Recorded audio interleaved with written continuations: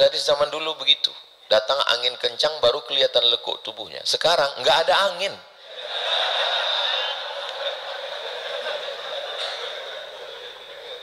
Jadi munculnya rasa sayang itu bisa jadi karena sering bersama seperti kata pepatah orang Inggris witing trisno jalaran suko kulino jadi kalau kau pertama belum ngelihatnya cantik kau tengok aja lama-lama kambing pun cantik kalau kau tengok lama kenapa barang-barang yang dibawa Nabi itu laku keras yang bersama Nabi itu Maisarah. Maisarah itu laki-laki, bukan perempuan. Kenapa setiap barang dagangan Khadijah yang dibawa Nabi itu laku keras? Khadijah penasaran. Kenapa barang ini laku terus? Yang mana orangnya? Kenapa kalau dia yang bawa ini keuntungan berlipat ganda? Saya penasaran, mana sih orangnya? Datang Nabi Muhammad SAW. Mana tahu adik-adik nanti mau buat film pendeknya tentang pertemuan Nabi dengan Khadijah. Khadijah begitu ketemu dengan Nabi terpukau.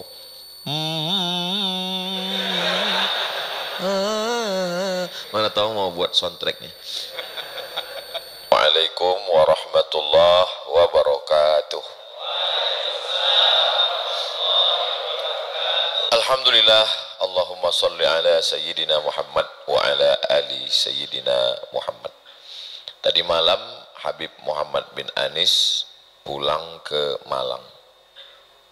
Saya baru tahu jawabannya pagi ini.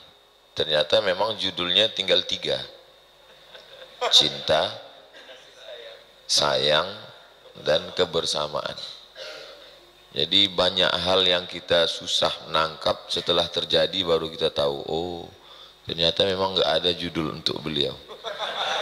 Parah ini, parah antara.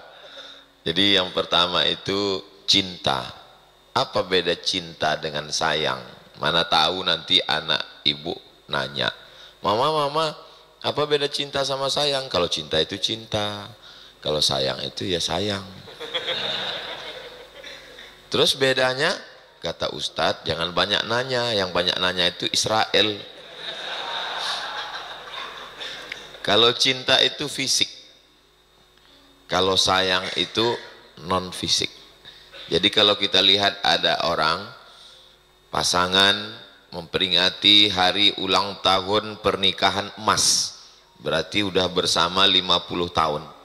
Itu fisiknya sudah hampir ya ibarat mobil kalau sudah lewat lima tahun itu kan kadang dipencet klakson keluar wiper. Tapi sayang itu semakin dia tidak pernah berubah Perasaan dulu Yogyakarta jalannya di sini, pohon kayunya di sini, banyak yang berubah ya. Ya memang semua mengalami perubahan. Yang enggak berubah itu kan cuma perasaan aku ke kamu.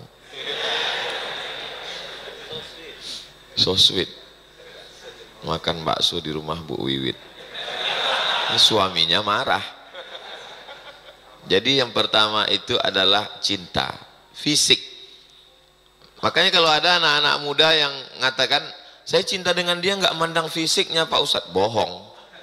Kalau memang cinta nggak mandang fisik, cintalah pada nenek-nenek. Itulah cinta yang paling tulus. Dasar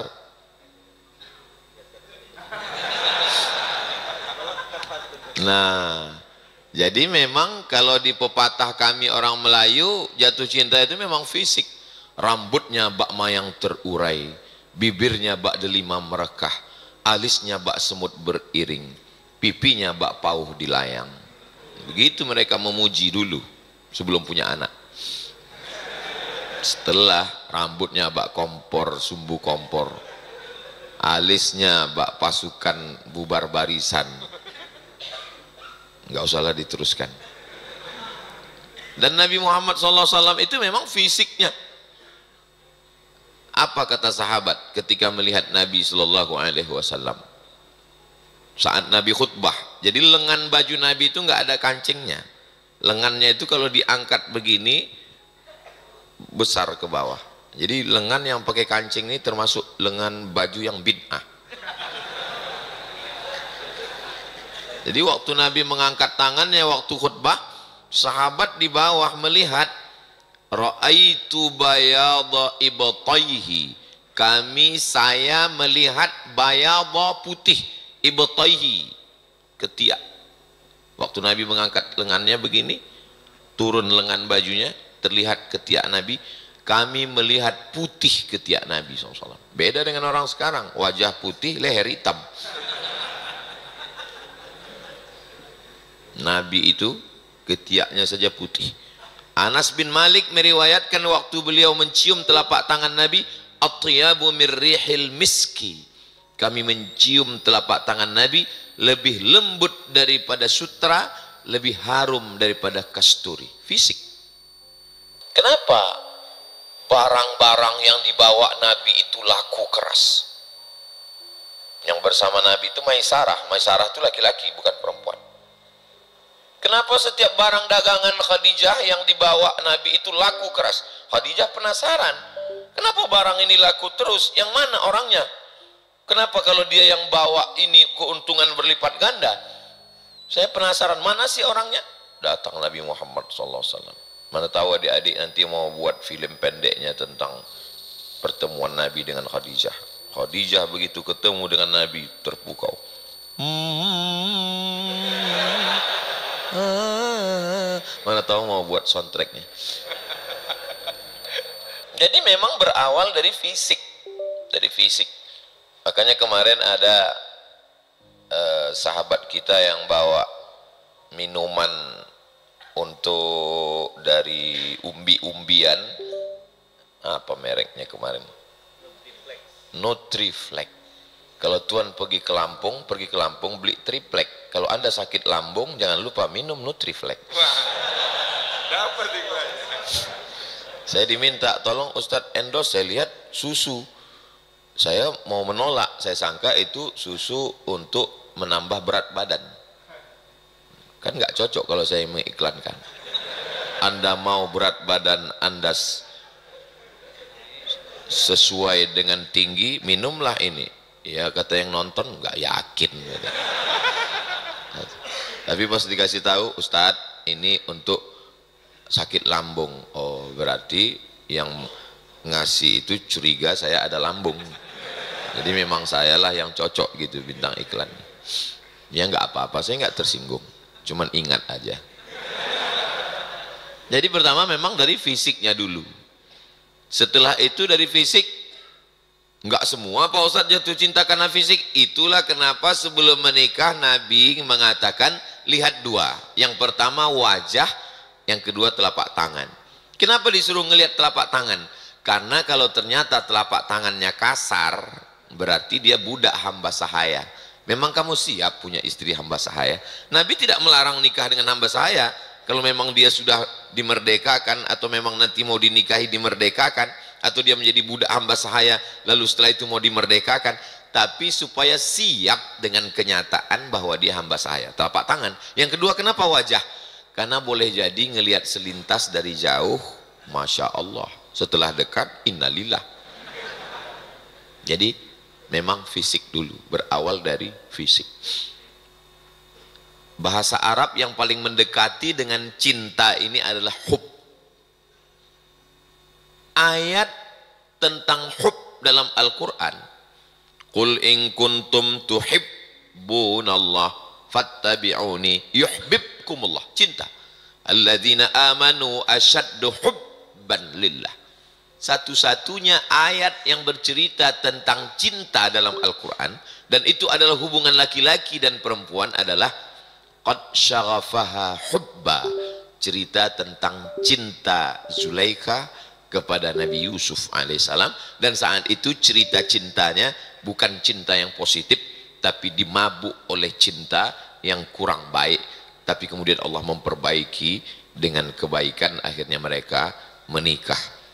Artinya apa? bahwa kalau sudah disebut kata cinta itu selalu konotasinya cinta antara laki-laki dan perempuan. Tidak. Cinta antara sahabat kepada Nabi cinta kepada istri, cinta kepada suami, cinta kepada Alhamdulillah Pak Ustadz, saya sangat cinta kepada istri. Alhamdulillah, tapi istri teman saya. Nauzubillah. Itu namanya zina berawal dari mata, berakhir dengan perbuatan maksiat. Mudah-mudahan kita terpelihara dari cinta yang terlarang ini insya Allah. Ini setelah itu lalu kemudian muncullah ada rasa sayang di dalam hati. Kalau sudah ada rasa sayang itu di dalam ditumbuhkan Allah Subhanahu wa taala. Tidak ada satupun ayat yang menceritakan tentang cantiknya anak Shu'aib. Kenapa Nabi Musa itu begitu sayang cinta kepada anak Shu'aib sampai mau menikah maharnya famania hijaj 8 musim jadi pengembala kambing saya kalau dihitung-hitung sudah puluhan kali jadi saksi nikah. Walaupun ada yang ngasih tahu saya Ustadz kalau bisa jangan jadi saksi lebih dari 40 kali. Katanya kalau jadi saksi itu lebih dari 40 kali itu dapat bonus satu. Itu bukan hadis bukan tidak boleh dipercaya. Tapi kalau mau ngetes boleh juga tidak ada satupun ayat bercerita tentang fisik kecantikan anak Shu'aib. Tapi kenapa Nabi Musa rela menjadi pengembala kambing 8 musim? Ternyata ayatnya satu-satunya bercerita tentang anak Shu'aib. Tamshi ala stihya dia adalah perempuan yang berjalan dengan sifat malu. Kalau fisik bisa berubah, tapi kalau perempuan yang kamu lihat punya sifat malu, Bapak, kalau istrinya punya sifat malu, jangan dikubur sebelum meninggal.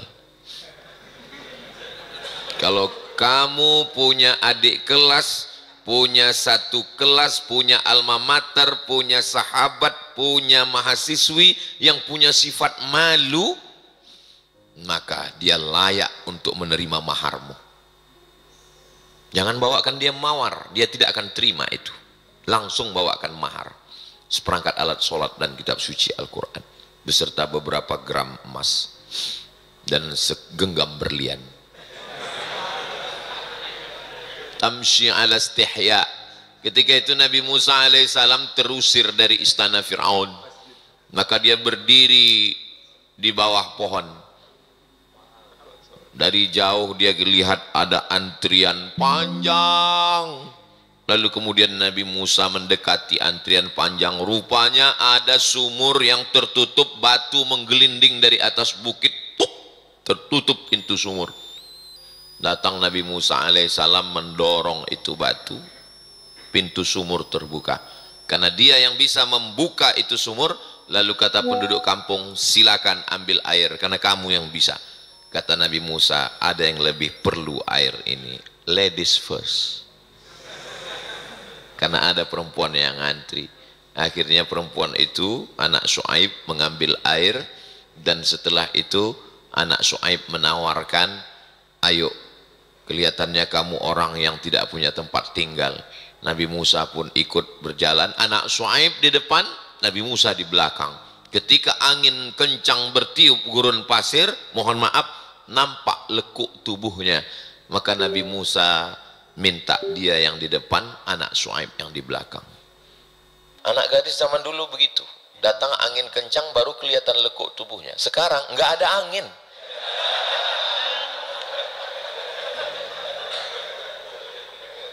Jadi munculnya rasa sayang itu bisa jadi karena sering bersama seperti kata pepatah orang Inggris Witing Trisno Jalaran Sukokulino.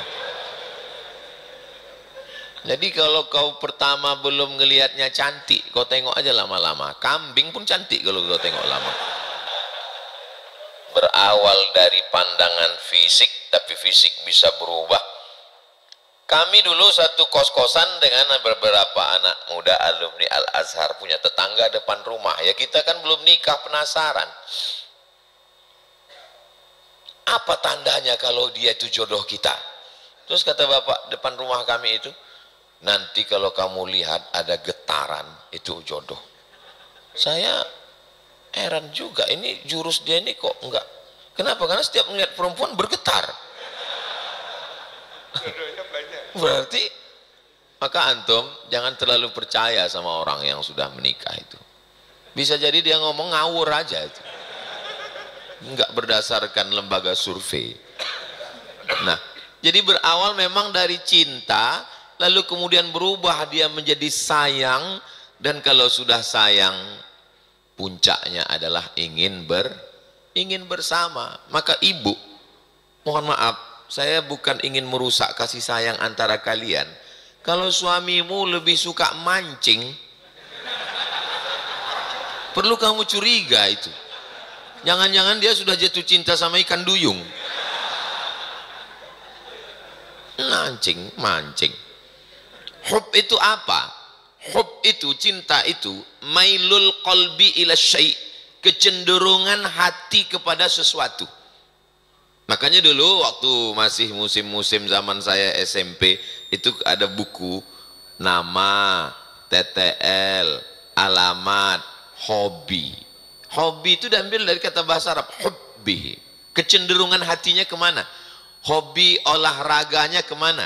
Ada tenis meja, ada sepak bola. Tapi lebih menarik bagi dia catur. Kok enggak sepak bola? Kan berkeringat. Kenapa enggak badminton? Karena catur ini enggak terlalu banyak bergerak Ustaz. Tapi semua raja-raja bisa ditumbangkan. Kecuali Raja Jawa. Saya lebih tertarik ini Pak Ustaz. Ini, ini misalnya tentang hobi. Begitu juga tentang minuman. Misalnya hobi. Saya ketertarikan saya pada minuman ini. Ada teh, ada susu, ada kopi. Tertariknya pada kopi. Kamu suka minum apa? Saya ini Pak Ustadz waktu kuliah di Jogja dulu sukanya minum es kopi. Saya ini nggak pernah makan Pak Ustadz kopi terus gitu. jadi memang ketertarikannya nah banyak ternyata yang suka minum kopi ya kalau sudah cinta sayang maka selalu ingin bersama. Bersama dengan kopi itu terus sampai tidak terpisahkan. Bersama. Maka begitu jugalah sahabat Nabi wasallam selalu bersama dengan Nabi Muhammad wasallam. Kalau aku meninggal nanti bawalah jenazahku ke depan pintu makam Nabi Muhammad sallallahu alaihi wasallam ucapkanlah salam. Kalau pintunya terbuka masukkan jenazahku. Kalau pintunya tidak terbuka maka bawalah jenazahku ke baki begitu dia meninggal dunia maka jenazahnya dibawa ke depan pintu makam Nabi diucapkan assalam. Assalamu alayka ya Rasulullah. Assalamu alayka ya Nabi Allah assalamu alayka ya Habib Allah assalamu alayka ya khaira khalqillah. Assalamu alayka ya safwatallah. Assalamu alayka ayuhan nabiyyu wa rahmatullahi wabarakatuh. Terbuka pintu makam Nabi. Dimakamkanlah dia di samping makam Nabi Muhammad sallallahu alaihi wasallam. Sampai setelah meninggalnya pun kuburannya ingin bersama. Itulah bukti kalau sudah cinta akan sayang dan kalau sudah sayang akan selalu ingin ingin bersama saya Pak Ustadz selalu ingin bersama dengan dia walaupun anaknya udah tiga dengan orang lain itu adalah kenakalan pikiran yang mesti dibuang jauh-jauh. Jangan sampai kalian kena pikiran begitu. Aku mulai takut dengan pikiranku Pak Ustadz. Ini adalah kejahatan-kejahatan. Cinta yang benar, yang kita bisa bawa dia sebagai bekal nanti kalau menghadap Allah Subhanahu wa taala di antaranya adalah cinta kepada Nabi Muhammad sallallahu alaihi wasallam.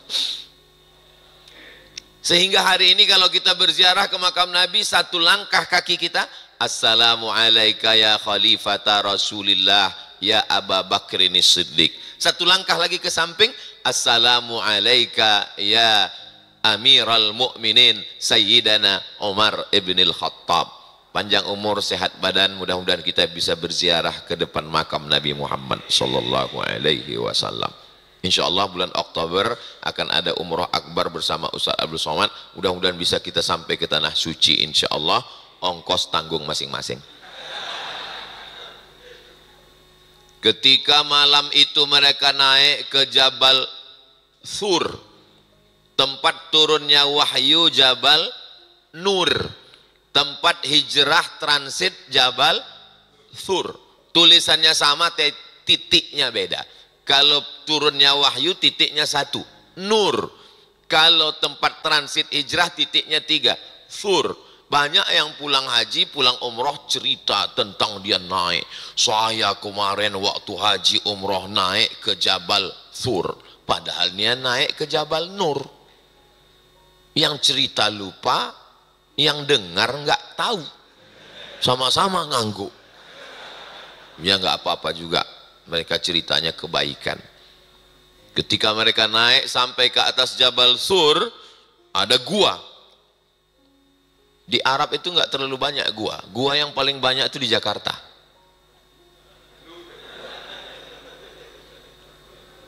Kalau tuan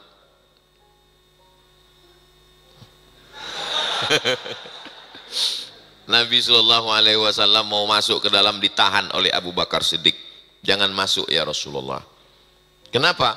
Mungkin di dalam itu ada binatang berbisa, ada ular. Kalau Aku yang mati hanya anak istriku saja yang kehilangan. Tapi kalau sampai engkau yang meninggal ya Rasulullah, dakwah ini tidak sampai kepada seluruh penjuru dunia. Tak terselamatkan manusia dari kegelapan alam kemusyrikan. Maka biarkan aku yang masuk ke dalam. Cinta selalu ingin bersama. Jadi kalau ada orang mengaku cinta, mengaku sayang, saya sayang sama Ustadz, saya cinta sama Ustadz, kami selalu ingin bersama. Setiap pengajian nggak pernah hadir, cintamu palsu besti cinta yang asli selalu ingin bersama dalam kajian, dalam kebaikan, dalam pengorbanan dua tahun yang lalu ojo leren dadi wong apik melu setahun yang lalu urip iku urup melu tahun ini wang sinawang tetap ada. Tahun depan belum tahu judulnya apa. Panjang umur, sehat badan, mudah-mudahan kita masih bisa bersama insya Allah. Itu semua berawal dari cinta. Maka Abu Bakar Siddiq menahan. Andai yang jadi teman hijrah malam itu bukan Abu Bakar, tapi Abdul Somad. Apa kata Abdul Somad? Ya Rasulullah, silakan masuk duluan. Kalau engkau yang masuk kan ada malaikat Jibril, Mikail, Israfil, Israel, Mungkar, Nakir, Rokib, Atid, Kiroman, Katibin. Kalau aku yang masuk, siapa yang ngawal? Jangankan malaikat, Satpol PP aja nggak mau. Nakanya jangan kita cemburu kalau disebut namanya Abu Bakar Siddiq radhiyallahu anhu kalau kami di Sumatera, di kampung saya di Riau, sholat tarawih. Al-Khalifatul Awal Sayyiduna Abu Bakrin Siddiq. Podo. Ternyata sama. Jamaah juga nyambut radhiyallahu anhu saya belum pernah tausiah di mana-mana dipanggil sama protokol. Berikut ini mari kita dengarkan tausiah yang akan disampaikan oleh Ustadz Abdul Somad. Lalu jamaah semuanya nyambut. Radiyallahu an. Belum pernah. Titel yang paling tinggi adalah RA. Radiyallahu an. Dan yang diridhai Allah itulah yang diundang oleh Allah. Ya ayyatuhan nafsul mutmainnah irji'i ila rabbiki radiyatam mardiyah sahabat Nabi dapat itu. As-sabiqun al-awwalun minal muhajirin wal ansar. Mereka yang dulu masuk Islam dari kalangan muhajirin dan ansar walladzina taba'uhum bi ihsan mereka itu radhiyallahu anhum. Mereka diridhai Allah kita baru ingin diridhai bangun pagi mengucapkan raditu billah rabba wa bil islami dina wa bi muhammadin nabiyya wa rasula wa bil qur'ani imama. Mudah-mudahan kita termasuk yang diridhai Allah subhanahu wa ta'ala. Masuk ke dalam gua bersihkan semua ada satu lubang. Nabi berdiri. Abu Bakar Siddiq duduk di lubang itu. Dia tutup lubang itu dia duduk.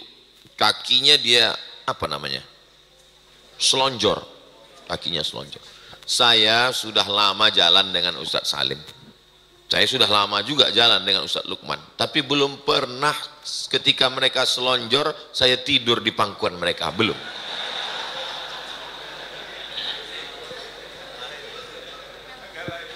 Abu Bakar Siddiq kakinya selonjor, Nabi Sallallahu Alaihi Wasallam meletakkan tengkuknya ke atas paha Abu Bakar Siddiq.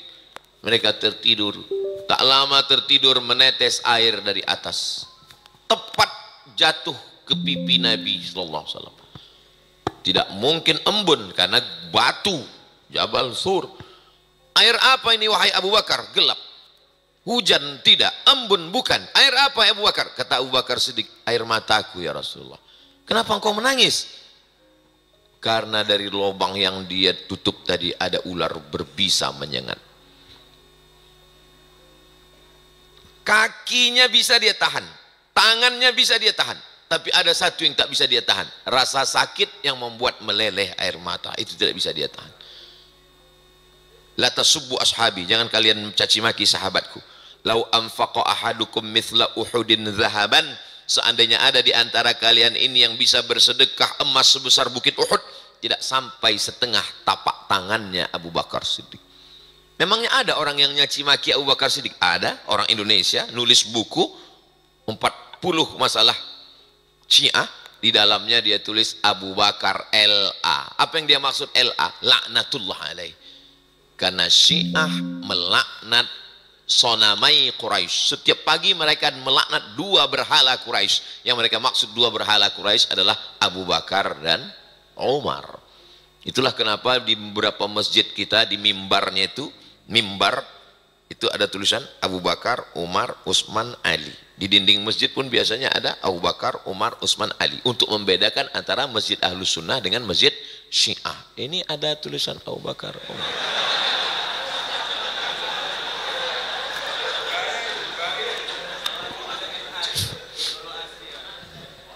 NA Nurul Asri. Kenapa kita tidak buat? Karena memang sudah umum kita di sini adalah Ahlus Sunnah wal jamaah. Ini Masjid Nabawi. Di samping Masjid Nabawi, rumah Nabi bersama Sayyidatuna Aisyah. Di belakang rumah Sayyidatuna Aisyah adalah rumah Sayyidina Ali bersama Sayyidatuna Sayyidatuna Fatimah. Hasan Hussein. Sekarang satu kamar, satu ruangan.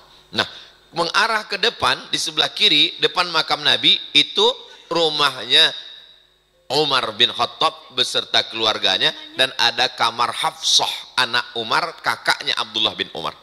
Pada masa pemerintahan Umar bin Khattab perluasan Masjid Nabawi.